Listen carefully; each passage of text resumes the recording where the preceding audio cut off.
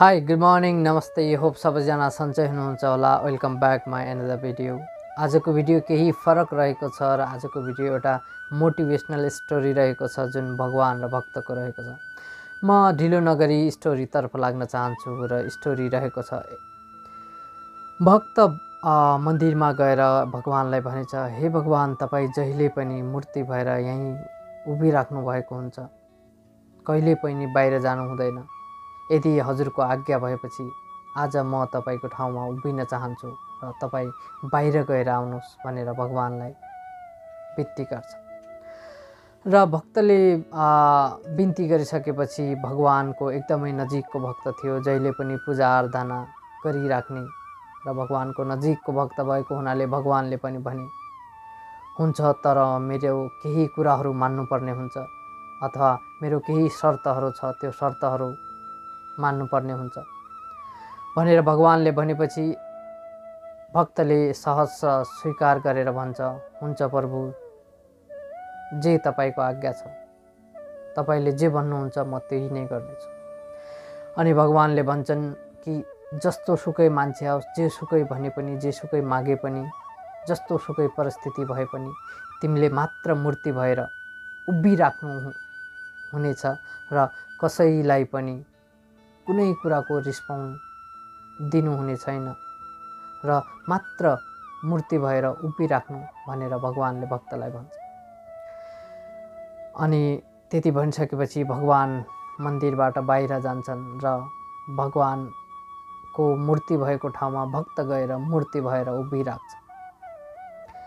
उभिराखेपछि भक्तजनहरू आउने प्रक्रिया चालु हुन्छ र भक्तजन आउँछन् जान्छन्। र एउटा बिजनेसम्यान आउँछ। बिजनेसम्यानले आएर भगवान्लाई प्रार्थना गर्छ हे भगवान् मेरो बिजनेस अझै बढोस् अझै राम्रो गर्न सकौँ भनेर भगवान्लाई प्रार्थना गरेर जाने बेला उहाँको खल्तीबाट पर्स भुइँमा खस्छ। र पर्स खसेर खसेको बिजनेसम्यानलाई थाहा हुँदैन र त्यसपछि एउटा गरिब मान्छे आउँछ र गरिब मान्छेले आएर भगवान्लाई हात जोडेर प्रार्थना गर्छ हे प्रभु मसँग मेरो घरमा खानालाई पनि केही कुरा छैन। मेरो छोराछोरीहरू पनि भोकभोकै छ। हे प्रभु मलाई कृपा गरेर मद्दत गर्नुहोस् भनेर भगवान्सँग प्रार्थना गर्छ। र प्रार्थना गरेर जाने क्रममा भुइँतिर नज भुइँतिर नजर जान्छ र भुइँतिर नजर जाँदा त्यो पर्स भेटाउँछ र भगवान्लाई फेरि हात जोडेर भन्छ हे हे भगवान् तपाईँको चमत्कार हो प्रभु। तपाईँलाई धेरै धेरै धन्यवाद। मैले भने अनि तपाईँले मलाई अहिले नै दिनुभयो भनेर खुसी हुँदै जान्छ र त्यसपछि एउटा माछा मार्ने मान्छे आउँछ र भगवान्लाई प्रार्थना गर्छ। भगवान्लाई भन्छ हे भगवान् म दस दिनको लागि माछा मार्न समुद्रमा गइरहेको छु बाहिर गइरहेको छु र मेरो फ्यामिलीको रक्षा गरिदिनु होला मेरो फ्यामिलीको टेक केयर गरिदिनु होला। सबै तपाईँकै भरोसा छ भनेर। जाने क्रममा व्यापारी मान्छे पुलिस लिएर मन्दिरमा आइसकेको हुन्छ र व्यापारीले त्यो मान्छे माछा मार्ने मान्छेलाई देखेपछि म गइसकेपछि अरू कोही पनि आएको छैन र सायद मेरो पर्स यही मान्छेले चोरी गरेको हुनुपर्छ भनेर आरोप लगाइसकेपछि पुलिसले माछा मार्ने मान्छेलाई पक्रिन्छ र माछा मार्ने मा मान्छेलाई जेल लग्नको लागि कुरा भइरहेको हुन्छ र भगवान्को ठाउँमा बसिरहेको भक्तलाई अब त्यहाँ असह्य हुन्छ।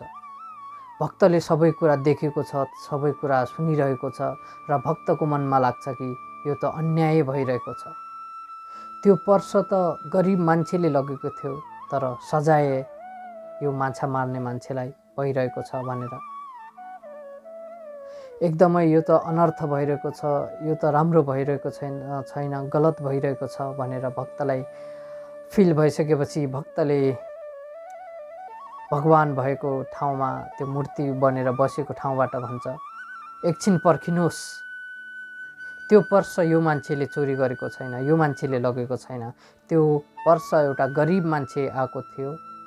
त्यो मान्छेले लगेर गएको छ। त्यसको घरमा जानुहोस् तपाईँलाई त्यो पर्स भेटिन्छ भनेर भन्छ। र त्यो माझी दाईलाई अथवा त्यो माछा मार्ने मान्छेलाई पुलिसहरूले छोडिदिन्छ र पुलिसहरूले छोडेपछि त्यो माछा मान माछा मार्ने मान्छे माछा मार्न जान्छ। र त्यो गरिब मान्छेको घरमा गएपछि पर्स भेटाइन्छ र पर्स भेटाएपछि त्यो गरिब मान्छेलाई जेलमा लान्छ। र साँझ पर्छ साँझपछि भगवान् आउँछन्। भगवान् आइसकेपछि भक्तले भगवान्लाई सम्पूर्ण घटेको घटनाहरू क्रमबद्ध रूपमा भन्छ। र भगवान्ले सबै सुनिसकेपछि भगवान्ले भन्छ मैले तपाईँलाई के कुराको शर्त दिएको थिएँ अथवा के कुरा भनेको थिएँ त्यो त तिमीले पुरा गरेनौ। र अब तिमीले जुन मैले प्लान बनाएको थिएँ जुन मैले योजनाहरू बनाएको थिएँ त्यो सबै चकनाचुर गरिदियो अथवा त्यो सबै सकियो भनेर भगवान्ले भक्तलाई भनेपछि। भगवान्ले भन्छन् जुन त्यो माछा मार्ने मान्छे थियो ऊ दस दिनको लागि बाहिर गइरहेको थियो र त्यो बाहिर अथवा त्यो समुद्रमा आधी तुफान आइरहेको थियो र त्यो आधी तुफानमा त्यसको मृत्यु हुन लेखेको थियो। र त्यसको मृत्यु भएपछि त्यसको श्रीमती घरमा विधवा हुनेवाला थियो। र त्यो गरिब मान्छेको घरमा खाना लाउन एकदमै समस्या परिरहेको थियो र त्यो पैसाले त्यो गरिब मान्छेको घरमा खाना लाउन अथवा केही दिनको खर्च चल्थ्यो। र कुरा रह्यो त्यो बिजनेसम्यानको। बिजनेसम्यानको पर्समा त्यति धेरै पैसा थिएन कि जसले उसको धेरै ठुलो नोक्सान हुन्छ अथवा बिजनेस नै ठप्प हुने टाइपको केही पनि थिएन। तर तिमीले मेरो भनेको शर्तहरू पुरा नगरेर अब सबै बिग्रियो भनेर भनेपछि हातबाट गल्ती भयो। हे प्रभु कृपया त्यो सबै जुन मेरो हातबाट गलत भएको छ त्यो सबै ठिक गरिदिनुहोस् भनेर भन्छ तर भगवान्ले भन्छन् कि त्यो त अलरेडी योजना थियो त्यो त प्लानिङ थियो त्यो सबै भइसक्यो भनेर भन्छ यो सानो स्टोरीको मोरल चाहिँ के हो भनेपछि भगवान्ले सबैको लागि केही न केही योजना गरिरहेको हुन्छ।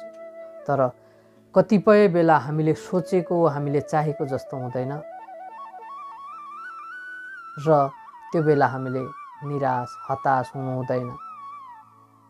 र त्यो बेला पनि हामीबाट भित्रबाट भगवान्लाई धन्यवाद भन्ने सक्नुपर्छ। भन्ने यो स्टोरीको मोरल रहेको छ। थ्याङ्क यू सो मच तपाईँहरूले यो स्टोरी सुनिदिनु भएकोमा यदि यस्तै स्टोरीहरू फेरि फेरि पनि सुन्न चाहनुहुन्छ अथवा हेर्न चाहनुहुन्छ भनेपछि कृपया मलाई सजेसन गरिदिनुहोला र कमेन्टमा कमेन्टहरू गरिदिनुहोला। तपाईँको साथ र सपोर्टको लागि अपेक्षा गर्दछु। हस्त नमस्ते।